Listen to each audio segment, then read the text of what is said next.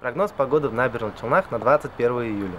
В понедельник днем ожидается пасмурная погода, плюс 18, а ночью плюс 8. На протяжении дня ожидается дожди. Ветер северный, 6 метров в секунду.